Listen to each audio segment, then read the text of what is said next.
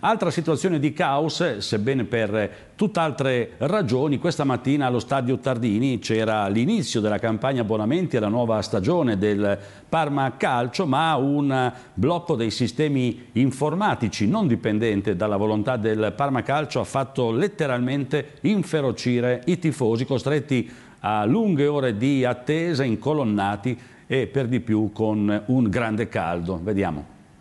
Dopo l'università nei giorni scorsi l'informatica miete un'altra vittima, questa volta ad andare in tilt sono stati i computer del Parma Calcio che avrebbero dovuto rilasciare gli abbonamenti e la tessera del tifoso. I primi supporter della squadra si sono presentati verso le 7 al Tardini per sottoscrivere l'abbonamento alla stagione 2016-2017, ma alle 10, orario previsto di apertura, le porte sono rimaste rigorosamente sbarrate. Con il passare dei minuti prima e delle ore poi, gli animi si sono un po' surriscaldati, nonostante l'amore per la squadra. Glielo dica, glielo dica proprio che noi veniamo da lontano e siamo qua e non sono bene organizzati. Penso che noi qui abbiamo dimostrato un attaccamento alla società veramente incommenabile. Peccato che ci stiano prendendo un po' in giro. Siete una società di dilettanti allo sbaraglio.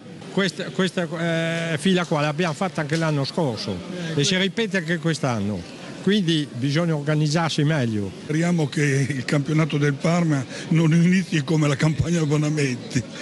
È un augurio. Io sono qua dalle otto e mezza che aspetto e ha, non si sa se il computer non funziona, non lo sappiamo com'è. Poi fra dieci minuti vanno, vedremo, via. Teniamo duro. Da quando siete qua voi? Io dalle sette. E resiste, rimane? Eh, penso di sì, non è detto.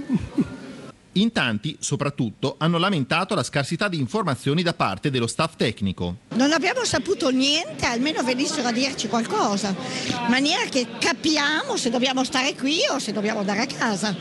Io mi siedo qua, non vado a casa, vado a prendere un panino e mi metto qua, sto qua fino a stasera. La società si è successivamente scusata attraverso un comunicato stampa, ma soprattutto ha deciso di cancellare la prevista pausa pranzo del personale fra le 13 e le 16, cercando così con questa non stop di recuperare i disservizi della mattinata. È chiaro che eh, la gente è arrabbiata e ha ragione e noi ovviamente non possiamo che essere costernati.